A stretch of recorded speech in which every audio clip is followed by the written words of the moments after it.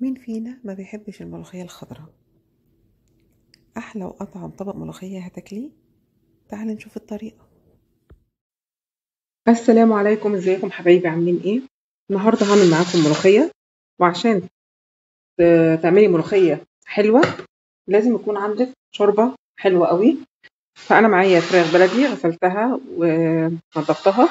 وبنقعها يا جماعة في محلول مية وملح وسكر وبعصر عليها ليمونة وبسيبها شوية ساعتين ثلاث ساعات أكتر براحتك. بتلاقي نزلت كل الدم اللي فيها وبتلاقيها حلوة قوي و... وأنسجتها كمان بتكون فكت شوية. فأنا عشان هعمل الشوربة أنا هنا مقطعة بصلة وكمان عاملة بصلة صغيرة وحط عليها نص طماطماية في الكبة. لو لاحظتوا اللون الأحمر دي دي طماطم. حطيت ملح وفلفل أسمر وهحط عليها بهارات آه، فراخ. أنا مش حاطة طماطم كتير أنا حاطة بس يعني يا دوبك نص طماطماية صغننة خالص. والبصل عاملة شوية متقطعين وعاملة شوية مفرومين في الكبة مع الطماطماية.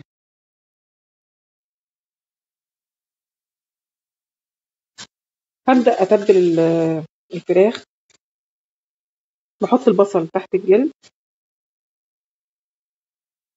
اللي متابعني يا جماعة عارف إن أنا بحب أتبل ال- الفراخ وبسيبها شوية.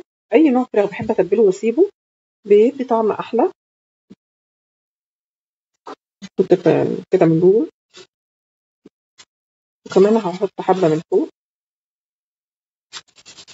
أنا مش هحشيها رز المرة دي بس هعملها مرة تانية إن شاء الله هحشيها رز.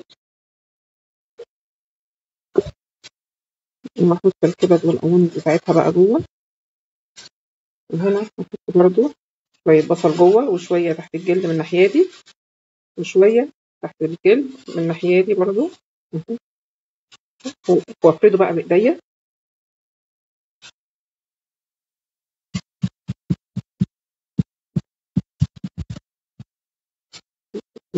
وأحط الكبد والقوانص بتاعتها. وهنا هحط من هنا برضو.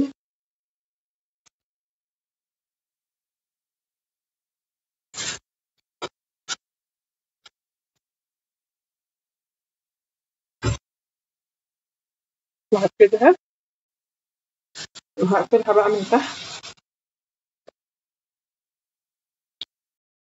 التتبيلة دي هغطيها وأدخلها التلاجة.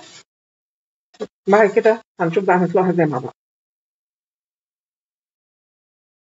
هنا بقى هسلق الفراخ حاطة هنا ورق لوري أو ورق الغار وهحط كمان حبهان وفصين ثلاثة مستكه كده.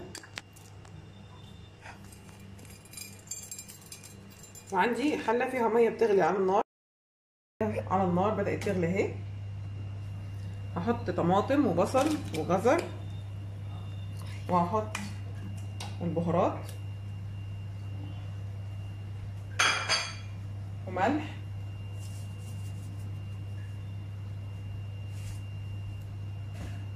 وفلفل أسمر.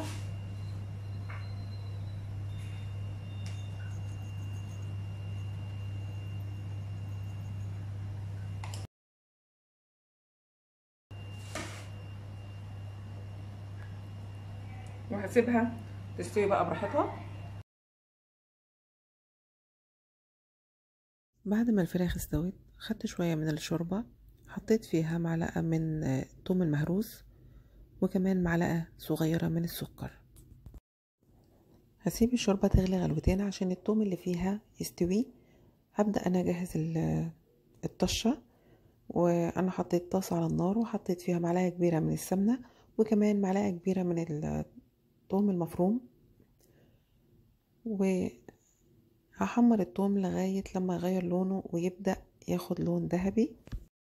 الشوربة غليت هبدأ أنزل فيها الملوخية اللي أنا خرطتها وهقلبها كويس. وما تحطيش شوربة كتير حطي شوربة على القد وحطي الملوخية وفكيها في الشوربة اقعدي قلبيها لغاية لما تفك. لو احتاجت شوربة ممكن نزود حبة حبة لكن لو حطيتي شوربة كتير هيبقى صعب تعالجيها تبقى الملوخية طالعة مش حلوة. أنا هنا قلب- بقلبها بالمضرب بسرعة. وكده هي اتفكت معايا. الملوخية ما بتاخدش وقت خالص على النار مجرد إنها اتفكت. دلوقتي التوم بدأ يحمر معايا.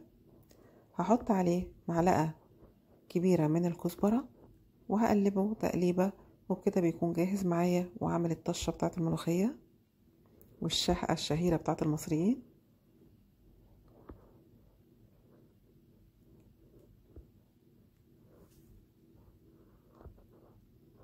ودي أبسط وأسهل طريقة للملوخية. هتاكلي أطعم طبق ملوخية.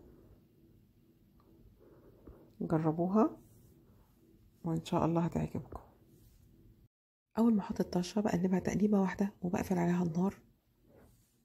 وبكده الملوخية جاهزة معايا وطعمة آخر حاجة. وباي باي.